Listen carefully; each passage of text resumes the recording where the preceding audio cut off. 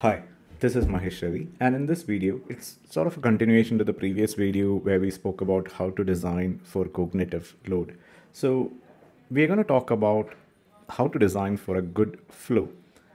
So, let's try and understand what exactly is flow. So, in simpler terms, flow is a state where the user feels that the difficulty of the task that they are handling is a good match to their skill. It's, it's not too tough for them, it's also not too easy for them. And when the flow is good, the user feels more productive, the user feels in control, the user gets a feeling of accomplishment. All of this will actually benefit our product because the user experience is going to be very good. How to actually create a good flow in your design? If the task is too simple, it might feel boring to them. If the task is too hard, it might actually feel frustrating to the user. The key is to balance these two things where it's not that simple, it's not, not that hard either.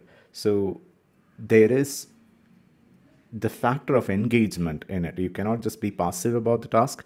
You need to be actively engaged in the task that you're handling, which gives them a sense of accomplishment because it actually sort of challenges um, their skill.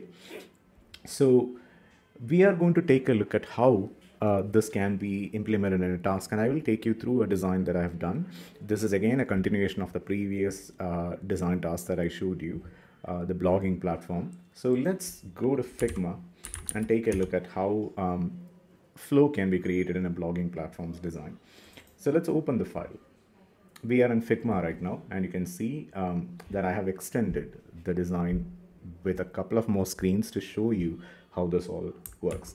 So if you go here to the home screen, this is what we saw in the cognitive load thing. So cognitive load, just to summarize it, is to design your interface so that they don't have to carry any sort of previous information to use your site.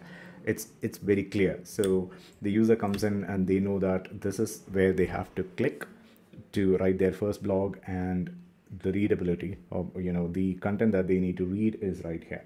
So it should be self-explanatory if you want to um, reduce the cognitive load of the user thus giving them a good experience. So we were discussing about that in the previous video and we are going to talk about the flow. So for that i basically created a couple of more screens. So if they click on the first block they will go to this particular window and um, you can see that um, there is the blog title and all that stuff here.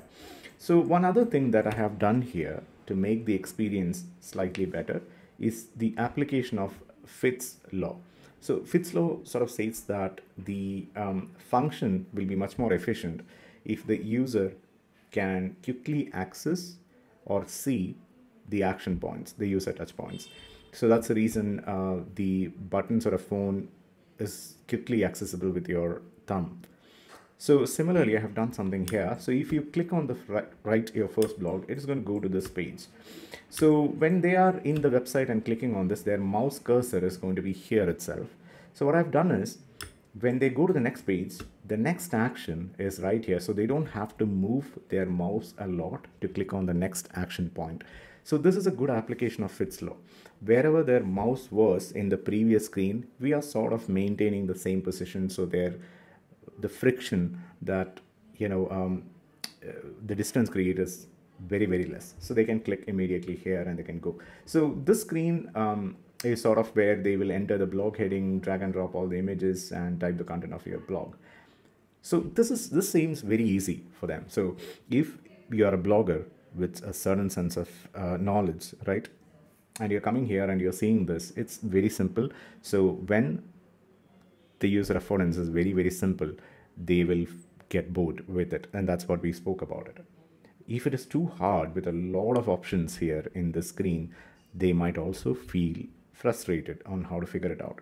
So how to make a good flow when we balance both of these things. So once you create your blogging content and when you are going to the next page of this, so immediately this is sort of like the preview screen here. So you can see that when they go to this, it is actually saying something like select each element to customize the look of your blog. So we are giving them a little bit of control on how the blog is going to look right now. And again, we are not going to make it too complicated. We are going to keep it simple. We are going to keep it balanced um, with the skill of a blogger. So how this basically works is that if you click on an element, a menu is going to pop up right here. So if they click on it, they can see, you know, uh, this element is selected and this section will pop up whether you want a classy look, modern look or loud look.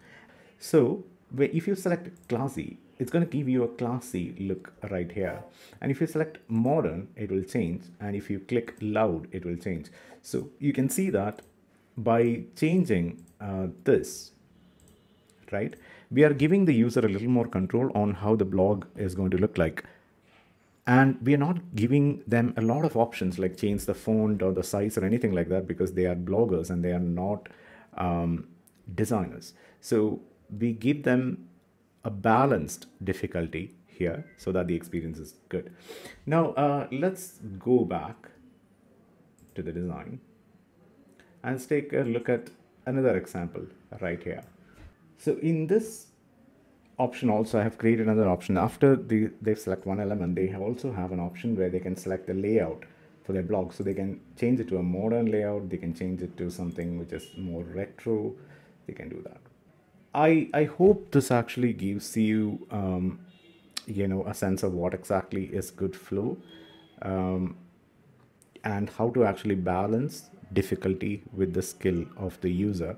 And how to create a perfect combination that satisfies the user and this can be if you think about any of the productivity apps out there right um, trello or notion um, any of these apps uh, Notion is something which is a little too hard for a layman to actually get into it. So that at times it might actually make you frustrated. But if you actually think about, let's say, Google Calendar or Tweek, it's too simple or easy for a user and it doesn't actually give you a sense of accomplishment. But if you take a tool like Trello, which balances um, both of these things brilliantly, it's easy but it's it has a certain amount of complexity to it and when you're doing or when you're working on Trello, it constantly gives you a sense of accomplishment to an average user. I'm not talking about an expert. So this is what flow actually means. I hope the video is clear. And if you have any questions, please do comment. And um, we'll be creating more videos like this in the future. Thank you. And I'll see you with another video soon.